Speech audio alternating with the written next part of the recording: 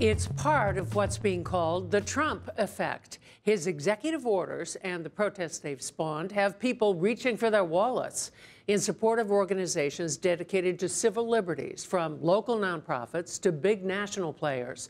Briana Vannozzi's been following the money. She joins us from the ACLU in Newark. Briana?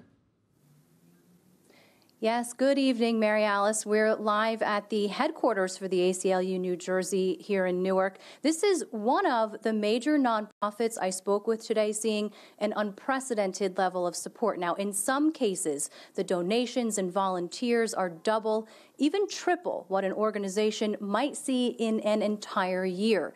The focus is on progressive causes, climate research, reproductive health, immigration rights. And we were told today that many of the donors are first timers. Politicians respond to votes and money.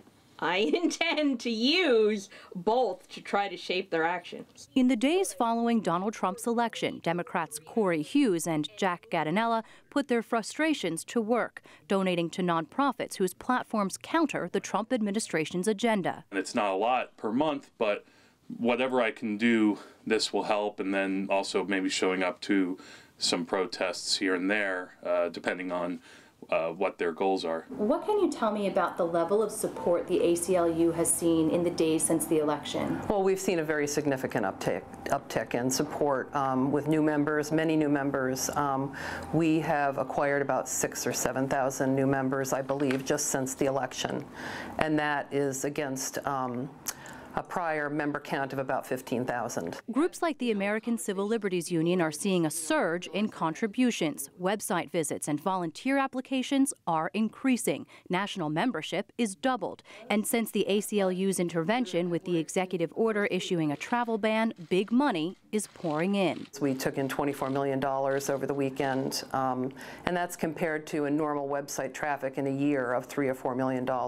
People want to make their voices heard. They want to see this change. They want to continue the progress that we've made. Defunding Planned Parenthood has been a mainstay of the Republican ticket, and since Trump's election, the national and New Jersey chapters are seeing increased support. Not only folks who are coming out and donating financially, but people who are donating their time and their passion and coming out uh, to events that we've been holding all across the state because they want to take action. They want to get involved. We've actually had a, a significant outpouring of support for us uh, from Muslims Muslims and non-Muslims.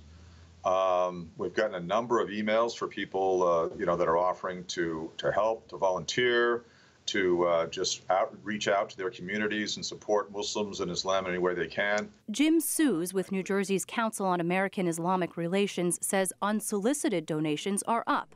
He hopes it continues across the board. I want to do anything that I can to try to help out uh, the organization. I hope that uh, they'll they'll put the money to good use as far as protecting uh, citizens and standing up for them.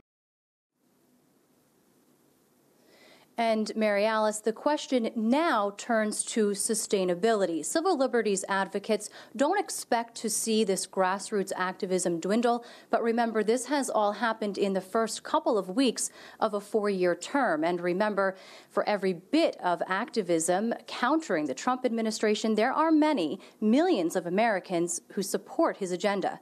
We're live in Newark. I'm Briana Vannozzi. I'll send it back to you. Thank you, Briana.